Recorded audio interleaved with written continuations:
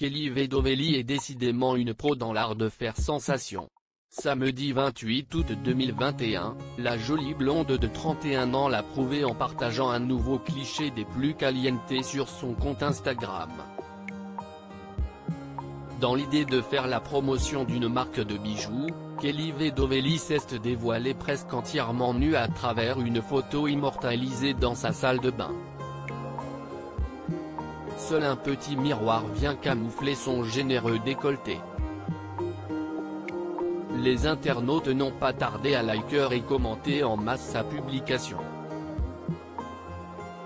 Joli mais le miroir non, wow canon, une bombe atomique, je deviens fou, je suis amoureux, ont glissé certains. Jen connaît une qui va encore casser internet, a de son côté souligné sa collègue de touche pas à mon poste Ludivine Rotori. En dépit des nombreuses réactions, toutes ne sont pas bonnes à prendre.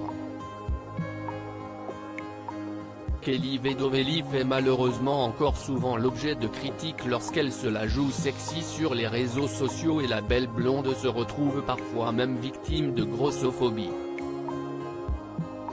Des critiques qui ne semblent aujourd'hui plus l'affecter.